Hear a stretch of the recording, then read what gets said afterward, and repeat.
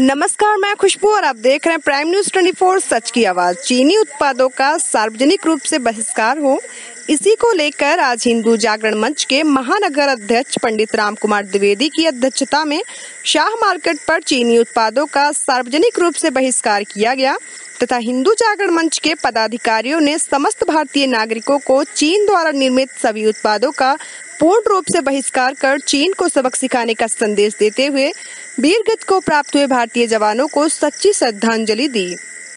प्रदेश अध्यक्ष युवा अमित चौधरी ने रोष व्यक्त करते हुए चीन को खुले तौर पर यह चेतावनी दी कि भारत को कमज़ोर समझने की भूल ना करें। भारतवर्ष का प्रत्येक नागरिक मातृभूमि की रक्षा के लिए तैयार है।